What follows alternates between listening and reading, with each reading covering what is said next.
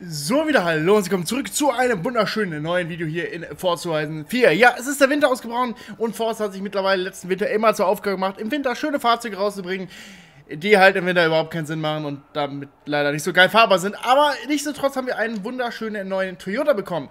Ja, nachdem jetzt eben der, die Supra und auch der AE86 seinen Weg reingefunden haben, haben wir jetzt einen, ich sag mal, mit der seltensten Toyotas, die man so antreffen kann, höchstens auf der Straße werdet ihr davon keinen einzigen sehen, nämlich den Toyota 2000 GT. Ja, es war ein Auto aus den 60er, 70er Jahren, äh, von äh, Ende der 60er Jahre, ähm, aus dem Haus Toyota mit 351 Stück halt saumäßig selten und äh, war damals ein Sportwagen, den Toyota rausgebracht hatte, mit einem wunderschönen Sechszylindermotor, Heckantrieb, also allem wirklich sehr, sehr sexy und ein paar, sagen wir mal, Optikanleihen sieht man auch bei heutigen Toyota-Modellen noch, nämlich unter anderem das Dach des 2000 GT, sieht man bei der aktuell bei MK5 Supra, die auch eben diese Dachwölbung hat, weil, ja, das zeige ich mir hier gerade schön, eben über Fahrer und Beifahrer ist das Dach ein wenig angehoben. Und ähm, ja, wie gesagt, sehr seltenes Fahrzeug. Ich glaube, ich, ich würde mich nicht wundern, wenn der seltensten Toyotas überhaupt, die für die Straße produziert worden sind.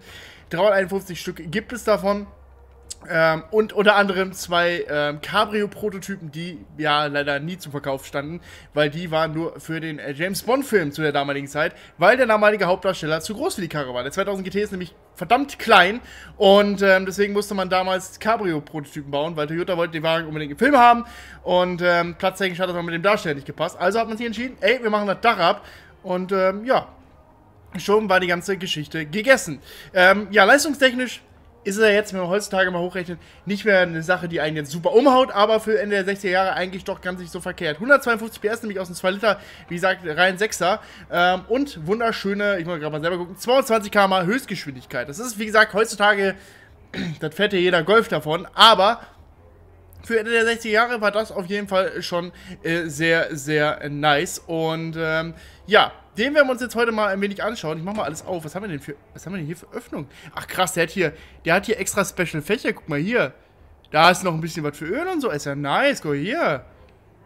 Der hat ja extra Fächer für irgendwas. Ich habe keine Ahnung, für, für was. Das ist irgendwas. Nee, ah, hier ist die Batterie. Die Batterie haben die. Ich habe extra einen Batteriekasten. Und hier irgendwas zum Nachfüllen, ja nice. Und hier ist eben dieser wunderschöne Motor. Sechszylinder. Ich bin auch sehr gespannt, ob wir heute wieder einen anderen Sechszylinder aus dem Haus Toyotas einbauen können. Weil, ja, wir haben schon geleckt, der 2JZ ist mit einer der leistungsstärksten Motoren im Spiel. Hat eine Supra schon gute Dienste geleistet, an dem AE86 auch. Ähm, und da wollen wir heute auf jeden Fall auch mal einen Blick reinwerfen. Und es ist, also 2000, der 2000 GT ist ein wunderschönes Fahrzeug. Nichtsdestotrotz wegen, auch wegen den Scheinwerfern. Warte kurz. Zack. Auch wenn er damit ein bisschen traurig wirkt, aber ähm, ja, wie gesagt, die Hauptscheinwerfer sind oben und nicht unten. Und ähm, ja, sieht aber trotzdem sehr nice aus. Ich würde mal sagen, wir steigen gerade mal wunderschön ein. Natürlich Rechtslenker, wie sich das gehört. Mehr JDM geht nicht. Und ihr seht schon, wenn man so daneben steht, das sieht so platztechnisch jetzt nicht geräumig aus. Ich mit meinem 1,94 kriege da leichte Klaustrophobie, wenn ich daneben stehe. Aber na gut, wir steigen mal ein und schauen uns das ganze wunderschöne Kfz mal an. Schönes Holzarmaturenbrett, sehr, sehr nice, auch Holzlenkrad. Äh, das sieht schon, das, also, das sieht, es sieht schon sehr schön aus. Also, ich glaube, hier könnte man schon sehr viel Spaß haben, schön rumcruisen. Auch wenn du das halt bei 351 Stück halt stark überlegst, ob du mal kurz einen Sonntagausfahrt damit machst, aber na gut. Ähm, ich würde sagen, wir machen ihn mal an und hören mal. Äh, ich möchte den gerne anmachen. Dankeschön.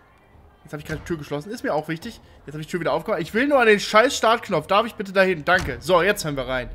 Hören wir mal.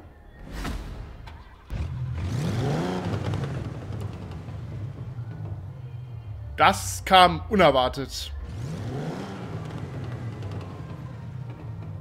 Alter, ist der am Nachblechern. Holy shit. Also der hat auf jeden Fall einen Custom Sound bekommen.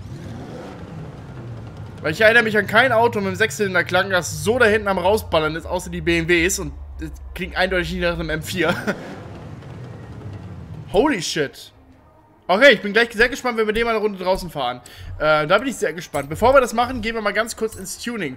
Ähm, machen wir jetzt noch nicht, wir werden jetzt gleich erstmal kurz Stock fahren, aber danach werden wir uns natürlich auch einmal äh, wunderschön, ähm, ich sag mal, dazu bemühen, diesen Wagen einmal äh, ein wenig Leistung zu geben. Deswegen gucken wir gerade mal kurz bei den Motorswaps.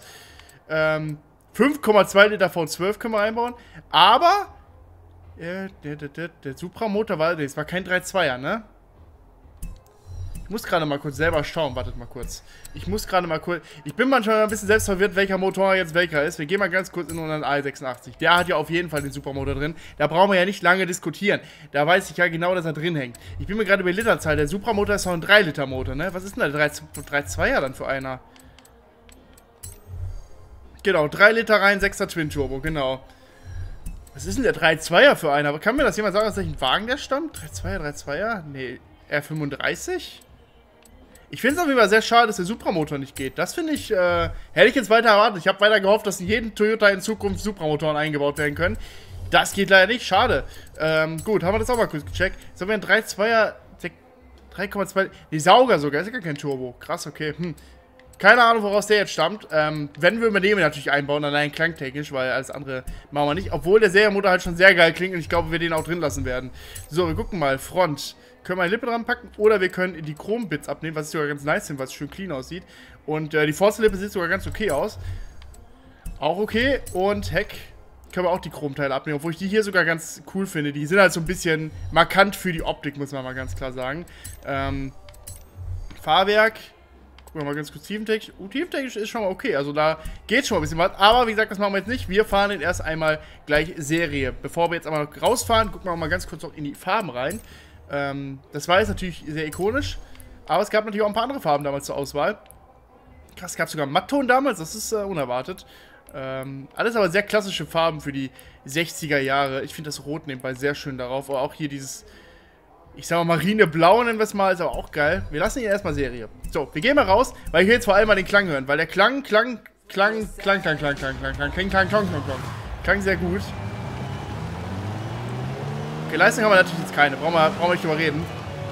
So. Wie gesagt, wir haben nur 150 PS. Das ist für die heutige Zeit, ist das nicht mehr schnell. Das ist jetzt kein Meisterwerk-Auto, wo ich mir denke so, oh shit,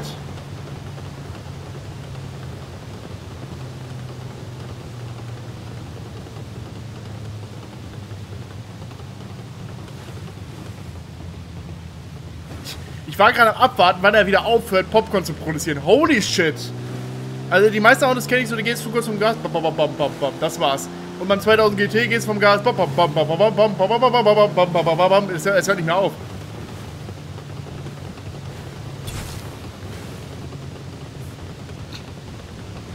Kannst hier im Raum. Im Innenraum hören wir es aus.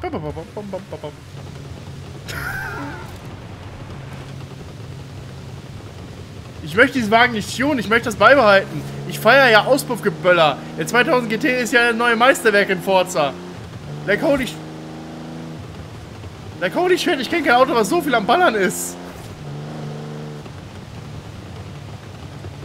Äh, ähm, bleiben Sie bitte auf dem Boden. Ich weiß, das klingt hier echt geil, aber... Holy shit, das ist ja mal mega fett, ey. Äh, das möchte ich bitte beibehalten. Ich muss gleich gucken, dass ich den Motor nicht so verpasse, dass das weggeht, weil das will ich beibehalten. Wir lassen den Originalmotor drin, kommen wir was wollen, das klingt viel zu geil.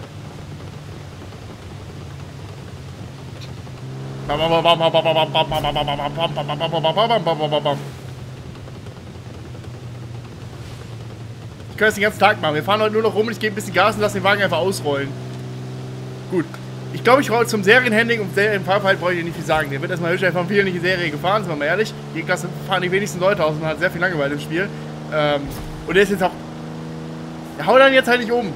Ich kann ja nicht viel zum Handling sagen, weil die Geschwindigkeiten bauen mir gar nicht auf, dass es relevant wäre, da irgendwas zu sagen. Also er ist. Er ist halt nicht schnell. Er ist halt nicht schnell. Aber er kann wunderschön knallen. So, deswegen gehen wir direkt ins, ins, wieder ins Haus und tunen einfach. Weil D-Klasse Fahrzeug und euch darüber berichten, wie geil dieser Wagen sich fährt, sind wir ehrlich, das ist jetzt nicht so spannend. So, ich hoffe, wenn ich jetzt diesen Motor tune, dass mir diese total tolle Eigenschaft nicht flöten geht, weil dann heule ich nämlich im, äh, hier aber im Kreis, sage ich euch. So, Turbo setzen wir mal drauf. Wir lassen mir Heck drin, weil ich habe Bock dran, die Karre ein bisschen quer zu fahren. Ähm, ich glaube, wir machen sogar die Lippe mal dran, weil ich die ganz cool finde. Unter den Heckspoiler. Ja, doch, ist ganz nice. So, ähm, Reifen. Bauen wir natürlich mal wunderschön auf Rennreifen um. Wir ballern da richtig breite Schluppen drauf. Felgen sind cool. Aber irgendwie will ich trotzdem andere haben. Obwohl, warte mal, wenn wir die vielleicht ein bisschen größer machen, machen wir mal 16, 17 Zoll draus. Oh, 17 Zoll ist groß, ne? Oh, 17 Zoll ist eindeutig zu groß. 16 Zoll reichen auch, liebe Leute. Ja, 16 Zoll reichen auch. So, jetzt mal ein bisschen das Fitment regeln, weil Fitment hatten 2000 GT leider Serie überhaupt nicht. Also serienmäßig stehen die halt so dermaßen inne, aber für 60er Jahre ist das auch voll in Ordnung. Also ich möchte dem Auto nichts vorwerfen, für die 60er Jahre steht dieser Wagen sehr gut im Futter. So, dann machen wir mal, wir bauen, wir bauen diesen Motor jetzt mal voll auf, weil ich will mal gucken, wo wir am Ende le äh, leistungstechnisch landen. Wie gesagt, serienmäßig 150 PS, 220 km Höchstgeschwindigkeit. Wir gucken mal, was aus diesen 2 Liter 6 Zylinder denn so am Ende rauszukitzeln ist, weil ich denke mal, ein bisschen was an Potenzial werden wir wohl haben. Und äh, die wollen bei unserem kleinen Popcorn-Freund, Alter, das ist das geilste Auto überhaupt. Ich habe noch kein Auto im Spiel gefunden, was so dermaßen Popcorn am Ballern ist. Also die meisten sind ja wirklich so typisch halt so, äh, mittlerweile ja auch künstlicher Zeug bei vielen Autos, gehst vom Gas, babam, babam. So, so, so, kurz, so eine kurze Abfolge. Aber bei dem ist ja wirklich, bis er zum Stillstand kommt und die Drehzahl runtergeht, ist der konsequent an hinten am Rausschießen. Das ist ja nicht mehr normal. Also, bei also, besten Willen, das ist ja nicht mehr normal. Uh, wir kriegen gar nicht, gar nicht mal so schlechte Eckdaten hin. 48er Score. Mit dem. Ich, ich gehe immer wieder von Punkten zurück mit neuen Teilen. Ist der Wahnsinn. So, wir haben jetzt wunderbare 23 kW, 428 Newtonmeter auf der Tonne. Das ist eigentlich, also nicht eigentlich, es ist gut, sind wir ehrlich. Äh, 23 kW, ich kann immer noch nicht umrechnen in PS. Nimm's mir nicht übel. Das sind, wartet kurz, wir haben es gleich, gleich kommt's, gleich kommt's. 435 PS. Das ist zwar jetzt nicht super viel, aber wenn wir überlegen, dass wir jetzt fast 300 PS zugenommen haben und äh, nur eine Tonne Gewicht haben, ist das eigentlich in Ordnung. Also da kann man sich jetzt weniger beschweren. So, das installieren wir alles mal. Und wir lassen, lassen wir ihn in weiß. Ich glaube, wir lassen ihn in weiß, ne? Schön einfach weiß lassen. Ich glaube, clean weiß steht ihm am besten. So, jetzt bin ich mal gespannt, wie sehr ich das Ding jetzt am Querschießen bin. Aber wenn er, wie gesagt, nicht plöppelt, baller ich das Ding auf Serie zurück und fahre auf D-Klasse rum. Ist mir scheißegal. Wenn der rumknallt, knallt er rum und das will ich beibehalten. Ja, er knallt weiter. Okay, alles gut. Maximal auf Bau mit Serienmotor ist am Start. Das geht. Ja, er ballert weiter. Okay, Motor, Motorswap ist keine Möglichkeit für mich. Motorswap wird nicht akzeptiert. Weil die ist viel zu geil, dass ich das weghaben will. So, gucken wir mal.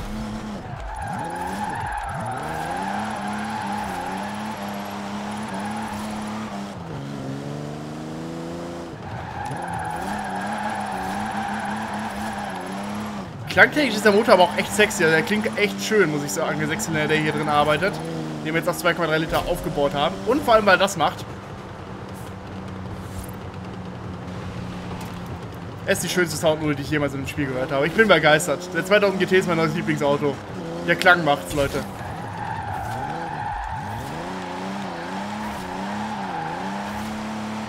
Boah, lässt sich aber sehr smooth driften, ey. Holy shit. Also hier. Boah, wie entspannt. Ist mal schön, wenn man nicht Auto komplett übermotorisiert hat. Dass kein 2Z reinkommt, kann ich zwar immer noch nicht mehr ganz nachvollziehen, dass es den immer noch nicht gibt hierfür, aber an sich Boah, Junge, Junge, Junge. Also Drift, man kann ihn sehr angenehm sliden. Das kann man auf jeden Fall mal so behaupten. Das gibt auf jeden Fall mal einen Daumen hoch in die Richtung von Toyota. Macht er gut. Okay, jetzt so viel steht jetzt mal leider das Gebüller nicht mehr hört. Gut ist, wir können relativ leicht driften, weil wir relativ schnell Traktionsverlust haben. Weswegen ich ja diesen Wetter eigentlich scheiße finde. Vor allem wird das Video auch auf YouTube wieder lala aussehen, weil die Videokomprimierung mit Winter in Forza Horizon 4 gleich als will ich 144p hochladen. Es ist leider so und ich kann nichts dagegen tun.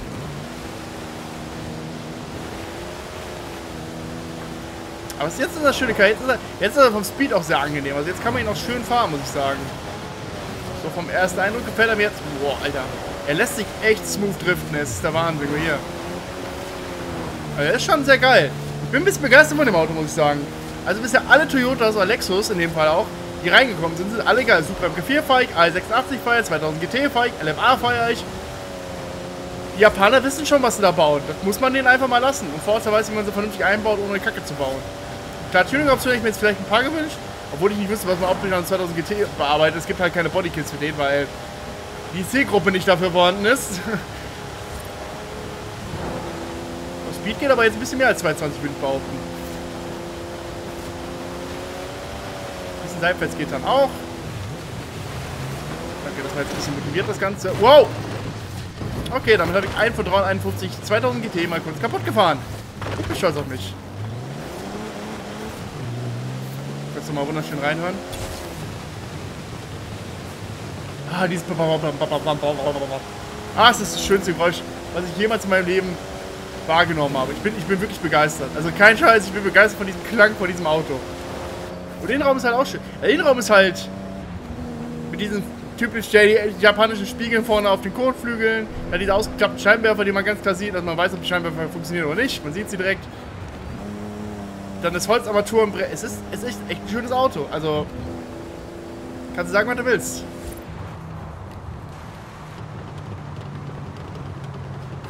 Ich bin echt begeistert, dass es so laut macht, ne? Oh, vorne hört man auch ein bisschen den Turbo ab und das ist ganz nice. Das gefällt mir ganz gut. Oh, da ist ein Kreisverkehr. Und was wissen wir? Kreisverkehre müssen gedriftet werden. So sieht's aus. Aber ich kann euch auf jeden Fall empfehlen. Den Wagen schaltet mal für 50% im Winter frei. Wenn ihr Popcorn mögt, seid ihr richtig. Eine fahrende Popcornmaschine, sage ich euch. Und mit Serienmotor ein Träumchen zum Driften, Alter. Guck es mal an. Der ist so kontrolliert quer zu fahren. Es ist so nice. Ich meine, das ist, du kannst halt einfach fast nicht verkacken. Das gibt's gar nicht. Du kannst fast keinen Drift mit dem Ding versemmeln. Es ist echt der Wahnsinn. Ich kann die ganze Zeit vom Gas gehen, ne? Gibt so viele Autos in dem Spiel, wo ich einfach nur Vollgas durchhämmern möchte. Und beim 2000 GT möchte ich konsequent das Gas loslassen und den Motor lauschen. Oder den Abga Abgasanlage.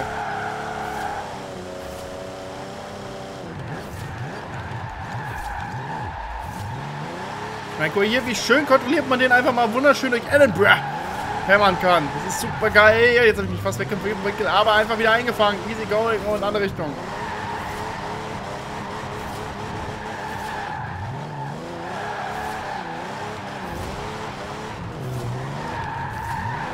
Meine, guck es mal an hier. Es ist so geil. Ich habe so viel Spaß in der Kiste.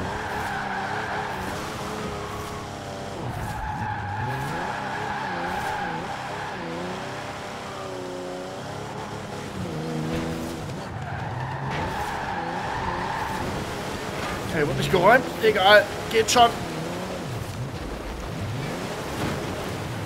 Was ich mal gerade kurz noch machen muss, was mir gerade einfällt, sorry, das müssen wir jetzt kurz zum Abschluss des Videos noch machen. Ich hab's voll vergessen, es tut mir sehr leid. Man hätte da vorher dran denken können. Wir müssen mal ganz kurz in den Tunnel und durchladen.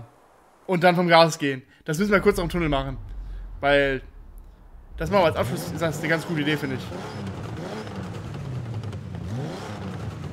ich. Schießt da keine Flammen, ne? Also das gar nicht, aber...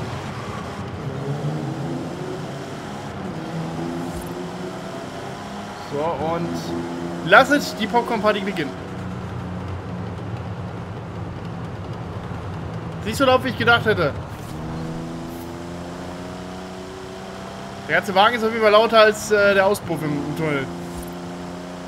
Aber äh, der Klang vom Motor ist echt schön, der klingt schön.